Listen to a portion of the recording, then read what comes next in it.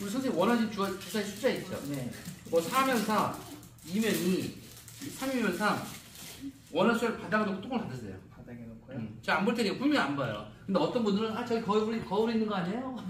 거울 없잖아 안 보여. 됐나? 아니? 응.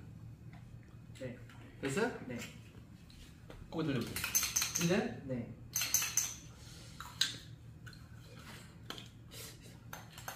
질문. 네. 홀수죠.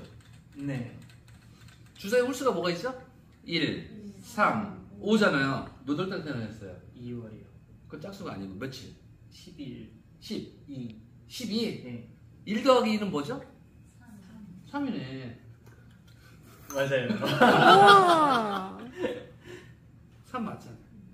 이건 원형 미스 다이스라는 매직인데 이것도 마찬가지로 끝나고 알려드릴까요? 음. 선